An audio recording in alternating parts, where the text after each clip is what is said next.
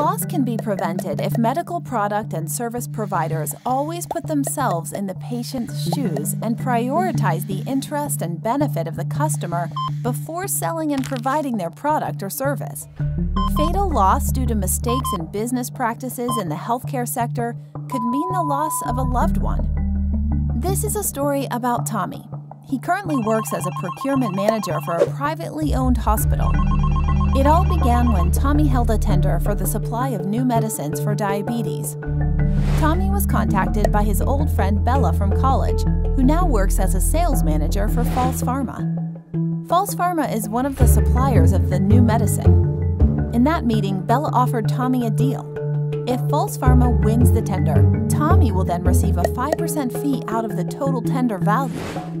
Furthermore, Bella guarantees the authenticity and quality of the medicine her company is supplying at a price that is far cheaper compared to other companies. Tommy initially refused, but Bella kept on persuading and even promised Tommy a motorbike as a gift. Tommy was tempted and ultimately agreed to cooperate. False Pharma ended up winning the tender without undergoing a comprehensive and detailed quality check process. False Pharma began supplying medicine for the hospital, which is prescribed and used by the doctors to treat their patients. Sonia is one of the diabetic patients of the hospital who use the drug supplied by False Pharma. Everything is fine after a few days.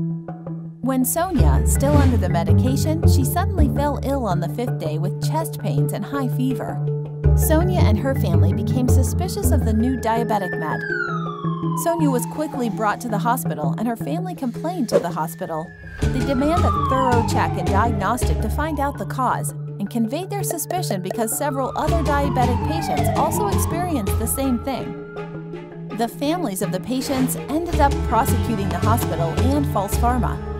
It was proven in court that the medicines supplied were counterfeit drugs. Furthermore, the procurement process was not transparent. After investigation, it was found that False Pharma gave a bribe to Tommy during the procurement process. The story of Sonia and the other families would have a very different ending. If only all decision-making parties had applied integrity and transparency in their work. With strong integrity, the supplier should not have provided gratification and benefit to the hospital procurement division.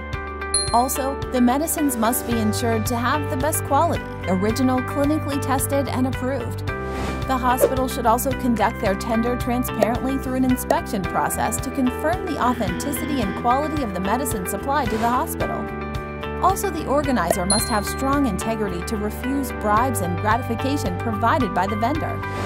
The public is expected to seek information on the medicine and their usage through trusted and credible sources, such as their primary physician, and hold an active role in reporting all practices that are not in line with integrity and transparency in the healthcare sector to the authorities.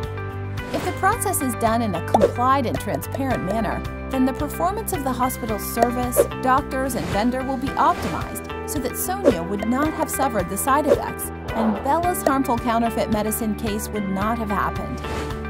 Not only Sonia, but millions of other people's lives would also be saved by implementing integrity and transparency in the healthcare sector.